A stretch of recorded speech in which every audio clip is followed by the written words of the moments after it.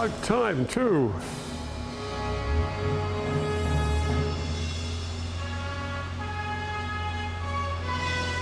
This is a 1981 Back to the Future DeLorean. Up comes the wing. There's my white jacket in there. Let's put this on so I can drive the car with the right gear on. And now here's the most important piece of kit on the car, the Mr. Fusion nuclear reactor. And that is powered by fuel, which is actually old vegetables and garbage, rubbish. Amazing. Inside here is the other vital thing in the car, which is the flux capacitor. Now this flux capacitor is the thing that, when it's powered by the nuclear energy, it pushes the car through the sound barrier flux capacitor, yes, flashing away there. Plutonium chamber, yeah, that'll do. Right, here we go.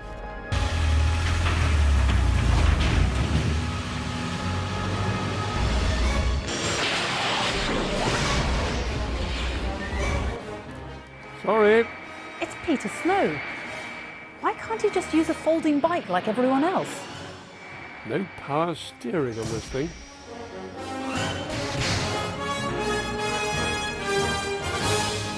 Thatcher's agreement to take further limited action against South Africa.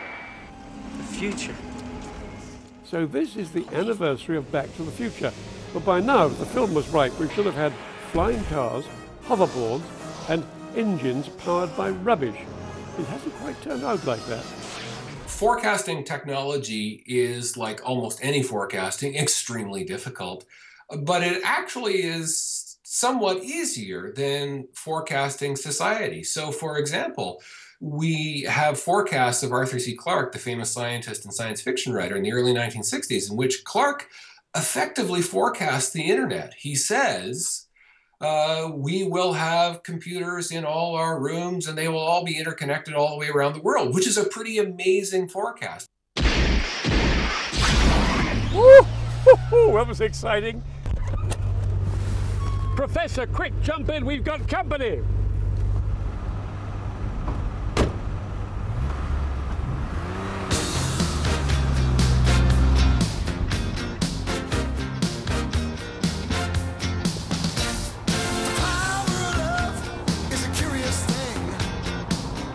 I think we're being chased. Are we?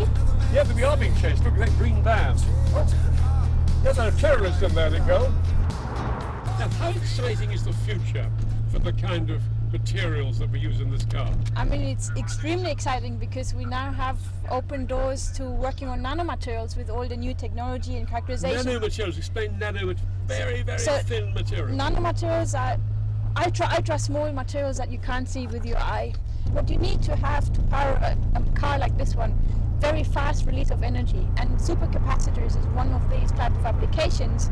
Supercapacitors, there's a lot of hope in nanomaterials because supercapacitors require high surface energy, uh, high surface areas, fast release of energy, and this is what these nanomaterials could potentially deliver.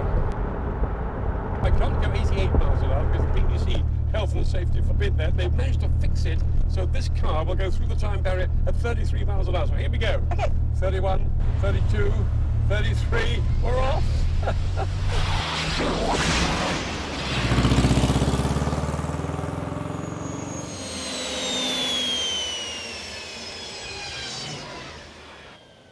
Matt, how good do you think we are at predicting the future? I think people are terrible at forecasting the future on the whole.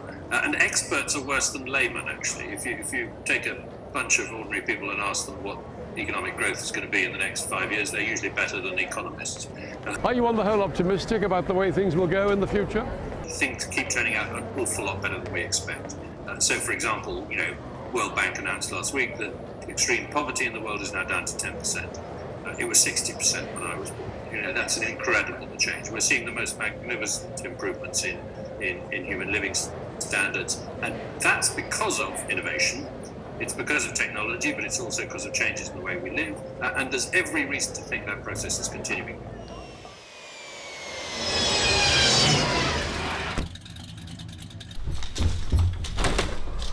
Four, eight, A man just dropped this off for you. Great Scott, why am I meant to play that?